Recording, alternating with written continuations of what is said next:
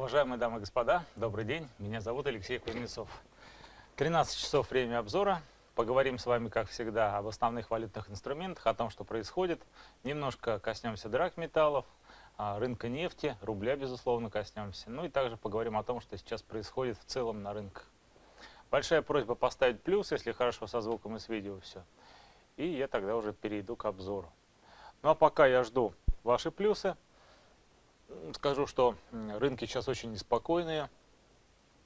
Учитывая, что просочилась вот вчера информация а, о том, что Европейский Центробанк, так сказать, ну, в общем, планирует э, ну, изменить свою политику монетарную, и это привело к достаточно там, серьезным движениям на рынке, то есть очень нервно восприняли эти а, новости все. К тому же остается до сих пор неопределенность с процентными ставками Федрезерва, то есть как бы не отказываются от этого и в то же время пока не поднимают. Вот Банк Японии также свои монетарные стимулы решил видоизменить. Ну, то есть, в общем-то, и Европейский Центробанк просто, по сути, решил видоизменить свои стимулы. Вот. И, э, исходя из этого, вот фондовые индексы так проседают а, европейские, может коснуться американских также. Но вот, а на этом фоне единая европейская валюта достаточно так э, сильно растет. И, в общем-то, это привело к определенному проседанию американского доллара. А также. Поэтому вот э, вчера еще это было заметно по драгметаллам, то есть резко достаточно а, так сказать, на фоне этой информации а, просели драгметаллы, серебро и золото. Это, в общем, давайте я покажу. Это, видимо, как это инсайдерская информация была в связи с этим. Посмотрите, а, золото, резкий вчера был рывок вниз. Видите, все началось прямо с 15 часов сразу. Хоп, такое падение жесткое было. И вот смотрите, также э, серебро, точно так же среагировало серебро, тоже часовой график. Также с этого же времени, смотрите, с 15 часов пошла резкое, э, резкое падение стоимости серебра и золота. Ну и сейчас мы увидели, что вот, видите, вот этот вот канал, который можно сказать здесь. Видите, он пробился и по серебру мы видим, и по золоту пробился. Вот дневной график. Ну и вот вся эта конфигурация сейчас пока говорит о том, что проседание, скорее всего, будет продолжаться. Может быть, не такое агрессивное, но тем не менее. А, так сказать, пойдет ли все это дело дальше, во многом определит политика Федрезерва. А, сейчас, кстати говоря, вот э, мы видели драгметаллы, а вот э, самое интересное, что а, нефть, несмотря на реакцию драгметаллов, такую нефть как-то странно в отрыве от американского доллара как-то растет. Вот, и вот это как-то несколько выглядит э, неустойчиво, и, в общем-то, я думаю, что этот, эти победы на котировок нефти, они не такие скажем так, долгосрочные. И любая какая-то информация негативная может сразу привести к достаточно резкому нисходящему движению на нефти. И, в общем-то, смотрите, вместе с нефтью такая же история на российском рубле. Мы видим, что рубль достиг давно уже недостигаемых максимумов по отношению к американскому доллару. Вот смотрите, а, мини, скажем, минимумы доллара по отношению к рублю доходили, секунду, сейчас я, до 62. В общем, в общем-то, это очень сильная такая вот э, победа рубля за последнее время. Правда, до сих пор я считаю, что велика вероятность достижения не только 62, но и 61 или даже 60 рублей за один американский доллар. А вот что касается евро, рубля, то вот здесь такая как раз зона поддержки от 69 до 68 и где-то из этой зоны возможно достаточно резкое движение дальше вверх. Ну, посмотрим, как будет происходить все это дело. А, сейчас по-любому здесь надо немного подождать, потому что у меня вот э, всегда подозрение, когда цены чуть-чуть не доходят до уровней, а это чуть-чуть, оно еще, собственно говоря, здесь и мы имеем, видите, чуть-чуть, но не дошло. И поэтому вот я все-таки жду, что, по крайней мере, по евро-рублю движение будет под уровень 69, а по доллару-рублю под э, где-то уровень 61. Вот куда-то в этот район. И тогда действительно здесь э, можно будет ожидать уже э, восходящего движения.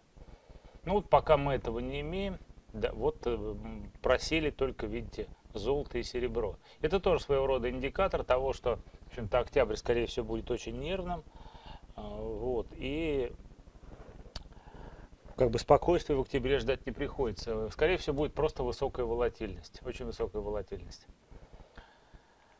А, вот. Что с нефтью марки Brent, а, ну, собственно, творится? Здесь тоже я пока не увидел значимого уровня сопротивления 52, где-то 50, 52, 70 долларов за баррель. И вот здесь, где-то в этом районе, возможно уже торможение. Ну, максимум, докуда я вижу а, котировки нефти, это 54 доллара за баррель. Больше я, наверное, вряд ли тут что-то могу сказать, потому что никаких иных поводов для дальнейшего роста котировок нефти с одной стороны, и потом никаких э, больше опор и уровней, которые могли бы здесь затормозить данное движение, я не вижу. Вот только кроме вот этого. То есть вот сейчас мы увидели, что цена пытается преодолеть значение, которое я вчера говорил, 51.18, 51.20. Следующий опорный такая, опорный уровень, это 52.80. Ну и следующий 54. Вот см будем смотреть, как цена двигаться будет вот по этим а, границам. А дальше. Э, начну с пары евро-фунт. Я все как-то ожидал, что от этих значений, от уровня какой-то будет отскок хотя бы, но, видите, отскока пока не происходит. И мне пришлось сделать следующее. Я провел несколько, э, видоизменил линии и э, смотрите, что здесь. Я провел уже уровень через вот эту э, точку, через максимум 2013 года, 17 февраля 2013 года. Видите, достаточно давно цен здесь не было в этом районе, вот они сюда пришли. То есть это уровень сопротивления. И с другой стороны, вот на дневном формате Смотрите, я нарисовал восходящий канал и верхнюю границу восходящего канала. И смотрите, здесь как раз находится вот эта самая а, точка. Вот эта самая точка, которая а, можно считать узловой или ключевой точкой, где сходятся линии и уровень. И, как правило, такие вот а, точки являются достаточно сильными сопротивлениями. Единственное, что меня здесь смущает, это достаточно такая агрессивная динамика ценовая, восходящая на которые развороты бывают крайне редко. Ну вот я не исключаю того, что будет еще какое-то движение вниз, потом еще движение вверх, и уже потом, собственно, сам разворот. А, здесь пока сейчас сказать э, о развороте я бы даже не, не стал говорить. Может быть, коррекции просто пока будет. И поэтому я пока не рекомендую а, предпринимать каких бы то ни было продажных действий. Однако и покупные действия по евро-фунту сейчас крайне опасны, учитывая, что цена находится как раз в районе узловой вот этой точки, а, слияния уровня и линии. А от них очень часто бывают отскоки. Поэтому сейчас надо смотреть за тем, что будет происходить вот в этом месте и как бы, может, на каких-то более мелких форматах. А, но если уж хочется войти на коррекцию, можно попытаться войти на коррекцию подобным образом. Линия поддержки вот это будет пробита, и тогда можно будет попытаться войти на коррекцию вот сюда до хотя бы вот этой трендовой линии. Почему бы и нет? То есть цена может уйти сюда вот к синей линии аллигатора и к линии тренда. Вот такой а, а, коррекционный отскок я здесь вполне даже вижу. И а, как раз по дистанции здесь порядка 30 пунктов. То есть, ну, в общем, нормально. Нормально можно попытаться здесь вот сходить на коррекцию. Но дальше, я думаю, что будет продолжение восходящего движения. Правда, думаю, что тоже не очень долгое уже.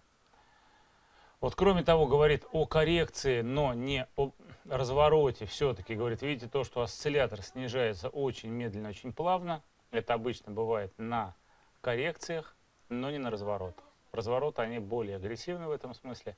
Я думаю, что еще восходящее движение будет. Может быть, э, стоит поискать, наоборот, разворота в сторону текущего тренда от э, трендовой линии, и тогда это будет более надежный вход уже на покупки. Но, видим, цена пока еще сюда не пришла, и говорить пока об этом рано. Евро-доллар сильно штормит. Я пока, э, если честно, даже не знаю, что здесь сказать, потому что, видите, цену мотает в разные стороны, раскачивает. До сих пор цена находится внутри э, нисходящего треугольника. Никаких отчетливых э, направлений здесь просто и в помине нет. И поэтому торговать евро-долларом сейчас, как тот в формате часа, там уже там, тем более 4 часов, я просто не считаю возможным. Потому что это, ну, гоняться за удачей называется. Ни в каком, видите, даже вот, ну, может быть, вот 15-минутный формат. Может быть, в 15-минутном формате вот видно, что, по крайней мере, здесь есть уровень сопротивления 1.12, 28. А, И вот как-то какой-то обратный, может быть, коррекционное движение поймать. Ну, если честно, с евро-долларом здесь все так достаточно сложно в плане возможности там что-то поймать. Ну вот как-то где-то попытаться вот как бы при преодолении этого уровня куда-то входить. Но я тоже, если честно, не сильно уверен в том, что стоит это делать. Потому что сейчас евро-доллар пока находится немножко не в той фазе, чтобы что-то здесь предпринимать. Вот, то есть вот я сейчас э, два уровня обозначил, уровень поддержки и уровень сопротивления. Пробитие одного из них, ну, может привести, по крайней мере, цену к движению, ну, не знаю, 18 пунктов. Кому это надо, ну, попробуйте. В общем, я сомневаюсь сильно, что это вообще стоит проделывать вообще. Индекс доллара, смотрите, забавно опять то, что уровень сопротивления вот этого восходящего треугольника опять не был пробит, уже третий раз не был пробит, и цена, видите, откатила. Однако, учитывая общий контекст этого движения, в принципе, можно предположить, что данный уровень может пробиться следующей свечой, то есть сегодняшний. Или завтрашний, например. Почему бы и нет? Но я так думаю, что не исключена также возможность того, что будут ждать пятницы, выхода данных по рынку труда США – и э, вот уже исходя из этих данных, инвесторы будут принимать решение, что же на самом деле будет с долларом в декабре на очередном заседании Федрезерва. Будут все-таки повышать ставку или повременят опять? Или вообще откажутся от этого? Вот, э, в общем-то, я думаю, что именно поэтому э, этот индекс доллара так и болтается. И с долларом тоже все достаточно непонятно. Ну вот и результат всего этого, то, что рынки стоят в боковиках и пока никуда ничего, по сути дела, не идет. Вот это индекс доллара очень хорошо показывает, что ходить пока некуда. Видите, тут тоже треугольник, тоже цена находится внутри треугольника. Смотрите, евро-доллар. Все в треугольнике. Индекс доллара. Все внутри треугольника. Доллар-франк. Все внутри зоны консолидации. Вот я показывал, что здесь возникла такая зона консолидации. Смотрите, одна точка у нее, вторая точка, третья точка. И вот четвертая точка формируется. И прям четкие-четкие границы. По выходу из, из данной зоны консолидации можно будет о чем-то говорить. Пока цена находится в зоне консолидации, увы и ах, тут что-либо трудно сказать, потому что по сути мы видим здесь и более крупный боковик, видите, недельного формата, ну просто боковик. Вот, внутри боковика треугольник дневного формата образовался. Ну и дальше тут что будет? Ну, пока я даже не возьмусь судить, что будет дальше по данной паре, потому что очень много пока непонятного. Видно, что движение дошло, видите, прям четко до границы, ушло вниз, и сейчас пока Пока здесь сказать нечего.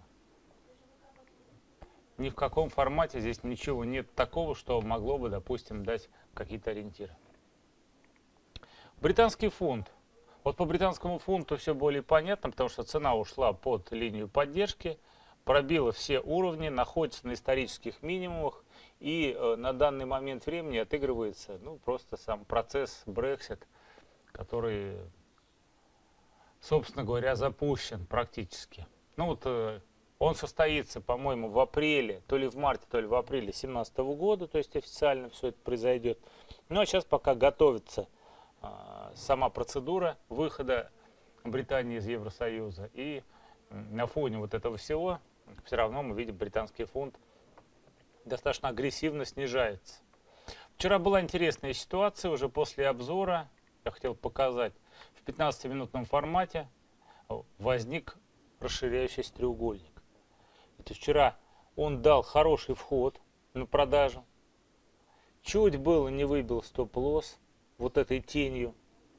Прям вот, тут, честно говоря, было очень неприятно, когда цена вдруг резко пошла вверх.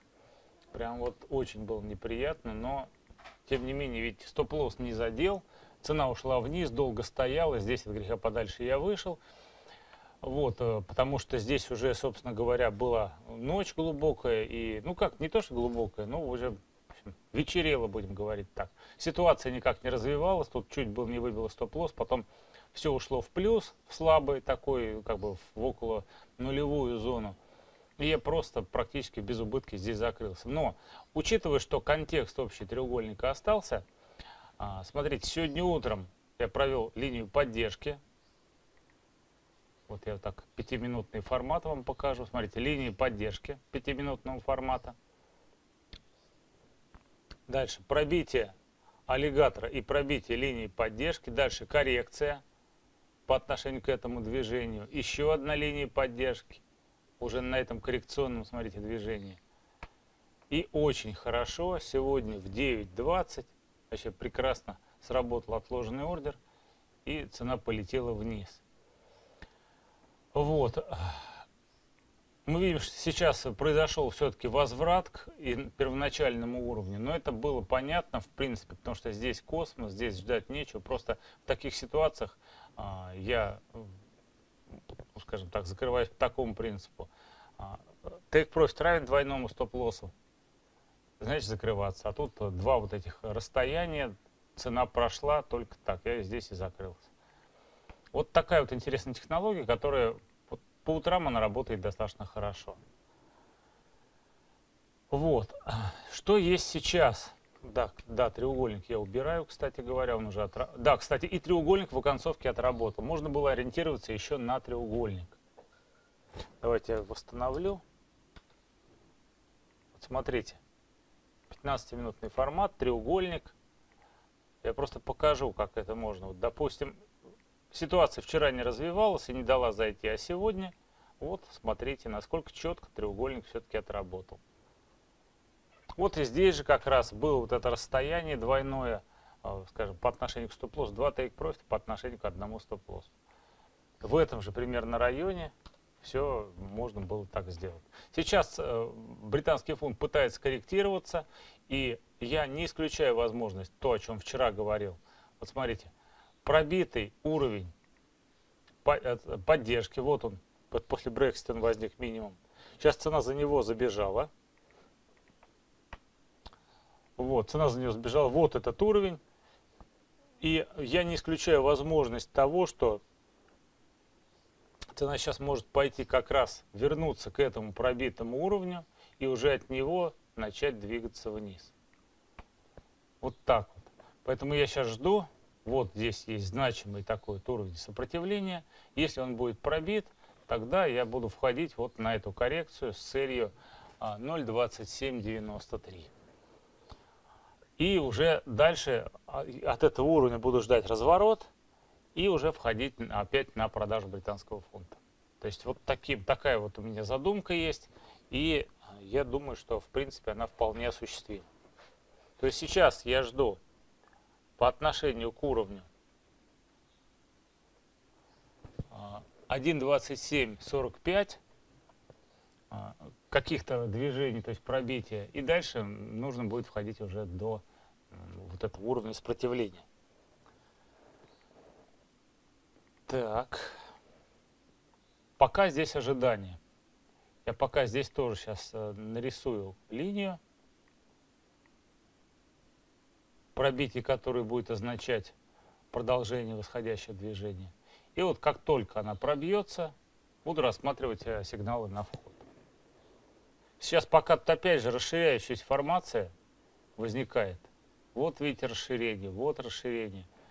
И к чему это приведет, пока сказать сложно. Но в общем и целом вот есть верхушка, вот есть коррекция, коррекционная волна. И если вот эта вот верхушка будет пробита вверх, где-то в этом районе можно будет поискать покупку. Потому что будем считать, что вот это первая волна, вот это все вторая волна, вот пошла третья.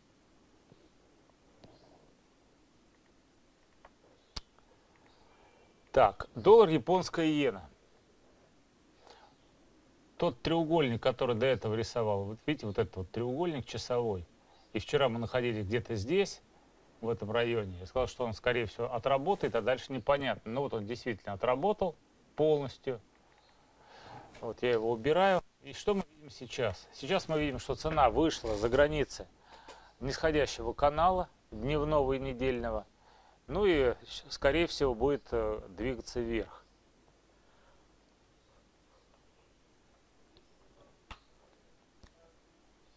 Скорее всего, будет двигаться вверх.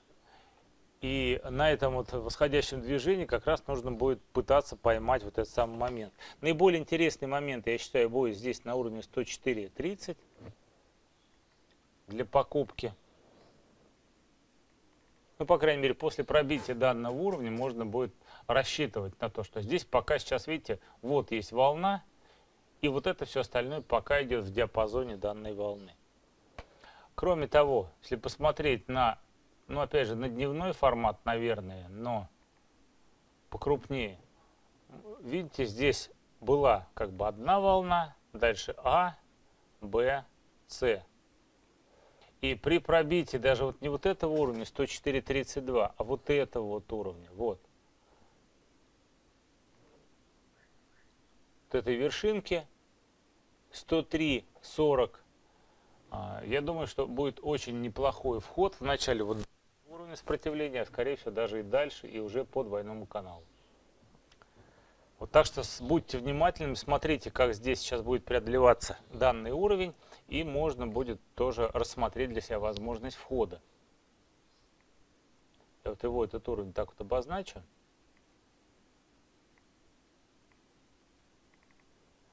Вот, и нарисую стрелку входа вверх. Вот это доллар и японская иена. Евро-иена. Смотрите, вчерашний очень сильный рывок, я говорил, пробитие уровня сопротивления, стрелку нарисовал, приведет к движению к линии тренда. Вот смотрите, здесь тоже пробитие, дальше возврат, и вот к линии тренда пришли. То есть очень красивый был ход, и буквально одной свечой очень замечательно, видите, к линии сопротивления недельного формата цена пришла. Дальше сейчас я не знаю, что здесь будет, но, по крайней мере, вот это движение, оно здесь было, и прогноз полностью оправдался. Так, дальше смотрим. В общем и целом, по а, евро-иене а, цена вышла за границу линии сопротивления, то есть вышла за габариты нисходящего треугольника. А, вот сегодняшний день должен закрепить цену за этой линией.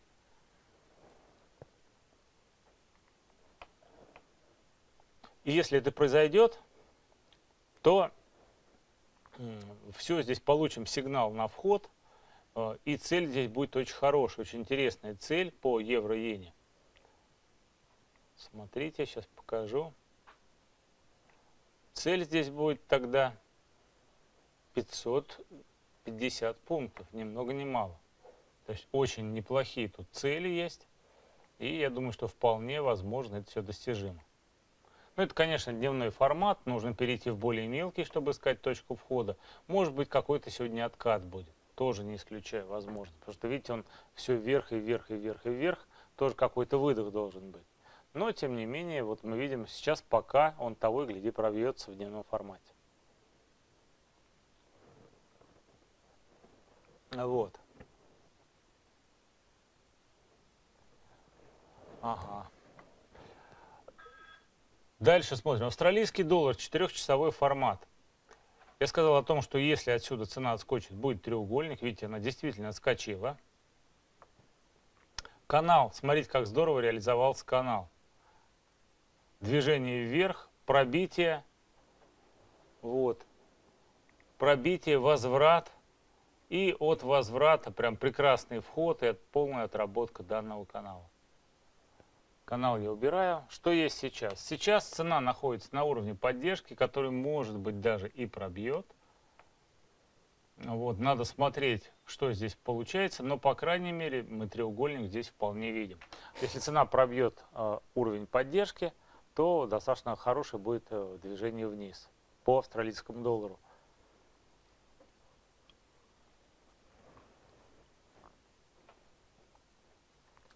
Так, дальше. Ну вот сейчас пока сказать в более мелком формате на австралийце ничего нельзя, потому что, видите, пробитий пока никаких не было. Новозеландский доллар. Вот тут очень было интересно все. То есть, смотрите, опять же, зона консолидации. Раз, два, три, четыре точки. И не то, что даже зона консолидации, можно сказать, что здесь был а, прямоугольник. И сейчас как раз, смотрите, прямоугольник разрешился вниз – вчерашним вот этим, опять же, движением 16-часовой свечой пробит вот это, этот уровень, который я до этого обозначал. Вот. Ну, естественно, сама зона консолидации. Но вот эта зона консолидации, я вам показывал, здесь вот есть такая чистая, такая вот большая а, зона сопротивления серая. И уровень поддержки, вот он серый тоже обозначен, чуть-чуть находится ближе, чем цель по данной э, зоне консолидации. Вот поэтому, видите, цена прям на нем встала.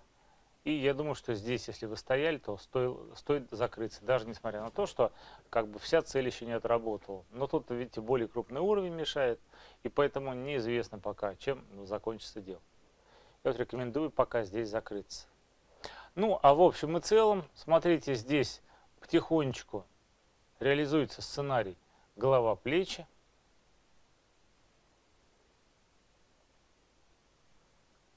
Плечо, голова, плечо. Вот и откат.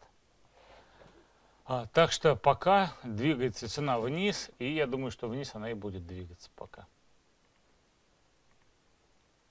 Но движение очень сильное. Может, запросто, кстати, видите, уровень пробит. Сейчас опять же может быть возврат к этому уровню. И от него уже опять пошли вниз. Так что вот приоритетное направление торговли сейчас вниз, я бы не рекомендовал пока входить вверх. А вот когда коррекция произойдет, когда от одной из линий аллигатора, либо вот от этого уровня, который я нарисовал, цена оттолкнется, вот здесь как раз будет очень хорошая точка входа.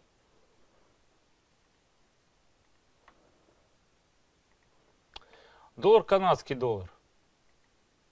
Хоть вроде как будто бы и растет доллар по отношению к канадцу, но очень-очень вяло. И мы видим, что пока цена из восходящего треугольника, из дневного, вот смотрите, никуда не вышла. То есть пока первая, вторая, третья, четвертая, и вот выхода на пятой точке пока нет, но и весьма вероятно он будет. Потому что здесь, видите, 38 уровень попросту опять до сих пор не достигнут. Ну и я думаю, что тут не только 38 тут 50 тоже будет достигнут, то есть 1.3570. Вот э, я целюсь в этот уровень, потому что, скорее всего, именно там цена затормозится дальше. Жду пока, куда выйдет цена из треугольника. Ну, нефть показывал, да. Золото, серебро показывал, рубль показывал сегодня. Еврофранк. Еврофранк до сих пор находится в непонятках. А, доллар, а, юань. Юань тоже находится, видите, в боковике, только в более крупном находился, сейчас в более мелком. Вот такие вот боковики сплошные здесь. Ну и фунт франк. А, видите, начинает пробиваться уровень поддержки по фунт франку. И мы видим, что треугольник того и гляди вот сейчас включится. Правда, свечки какие-то мелкие, не похожи на импульсные вниз. И поэтому я думаю, что будет какая-то коррекция еще, прежде чем движение вниз возобновится. Вот такие дела. А Что ж, сейчас хотел еще сказать, что а, 12 октября в Москве будет выступать Насим Талеб на очном семинаре. Целый день будет семинар, очень интересный. Семинар, который посвящен влиянию а, случайных факторов и неожиданных всяких а, факторов на экономику а, мировую, ну и вообще на финансовую сферу. Данный автор э, написал э, книгу «Черный лебедь» и ряд других книг, которые являются очень популярными. У нас в России наиболее популярна книга «Черный лебедь». Я могу сказать только то еще, что в принципе, если вы пройдете по ссылке, если вы пройдете по ссылке на данный семинар, э, ссылка Альпари, а, то, э, соответственно, вы можете получить 10% скидку на данный семинар. Семинар будет очень интересным, я там обязательно буду, и я тоже рекомендую на нем побывать. Вот. Ну, естественно, у тех, кто сможет. Сможете хорошо, не сможете, ну что же, как говорится, ладно. Вот я в чате выложил э, краткую информацию об этом человеке и ссылку для получения скидки в 10%. А, Через полчаса будет семинар по индикаторному анализу, на котором расскажу о, обо всех индикаторах, которые э, я использую, и, э, скажем, наиболее часто используемые индикаторы, о том, что они показывают, как их строить, какие параметры и э, каким образом с ними можно и нужно работать. А Через 15 минут я выложу сегодняшнюю трансляцию на канале YouTube. Вы сможете посмотреть ее, как обычно. Ну, а в 18.30 сегодня будет третье занятие базового курса, на котором мы с вами поговорим о трендах, о трендовых линиях, об уровнях поддержки сопротивления и о том, что такое тенденция и как с ней работать. То есть занятие интересное. Э, Все те, кто смотрит базовый курс, э, сегодня получат настоящее удовольствие. Ну что ж, с вами был Алексей Кузнецов. До свидания, всех вам благ. А, Жду вас на своих следующих семинарах сегодня. Жду вас на семинаре Насима Талеба в Москве 12 октября. И, безусловно, завтра в 13 часов будет наш новый обзор, на котором поговорим о развитии ситуации на финансовых рынках. До свидания.